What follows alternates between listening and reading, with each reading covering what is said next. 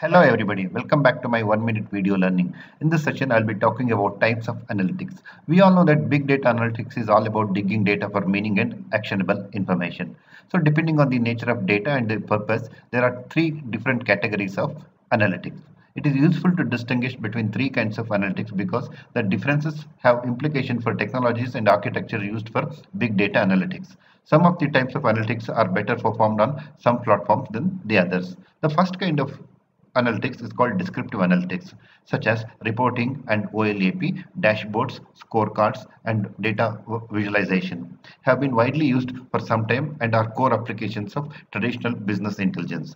Descriptive analytics are backward looking that is like a car's rear mirror and reveal what has ha happened in the past. So that is a kind of a historical analysis. One trend however is to include the findings from predictive analytics such as forecast of future sales on dashboards and scorecards.